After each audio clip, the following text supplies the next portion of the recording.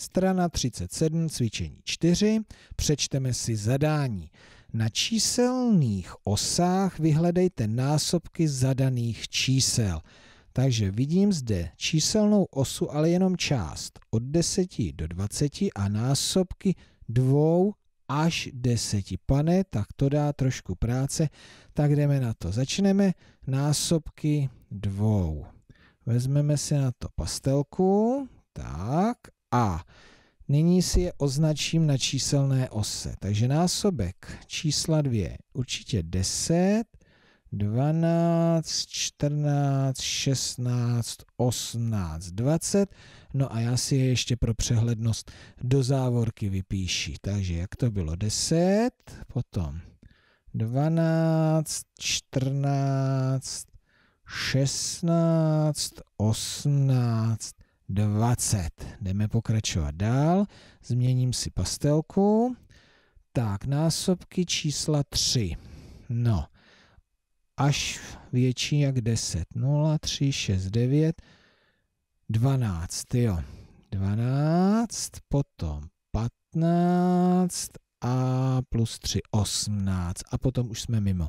Takže jak to bylo? 12, 15, 18. Pokračujeme násobky čísla 4. Tak, až po desíce. Takže to začíná 12 a potom 16.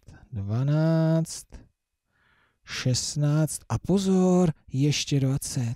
Ještě 20 bych zapomněl. Takhle. Tak, teď by to mělo být všechno. Násobky čísla 5. Takže to je 10, lepší tečku 11, 12, 13, 14, 15, 20. 10, 15, 20. Tak, násobky čísla 6 tady. Začne. 6, takže co by to bylo? 12 a plus 6, 18. 12, 18.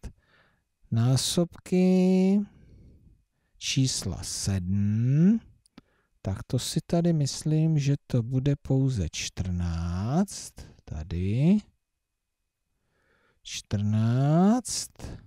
Uhum, a potom je až 21 a to už tady nemáme. Násobky 8. Tak. 8. Takže 8, 16.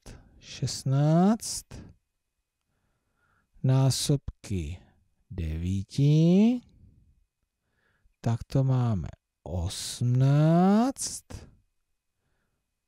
a násobky, už jsme se dostali až do konce, desíti. Takže to je jasné, to je 10, 20. Pohne? No, zvolili jsme snad přehledné znázornění a vidíme, že třeba dvanáctka je násobkem dvěma, třemi, čtyřmi a co to tady je ještě a šesti. Výborně.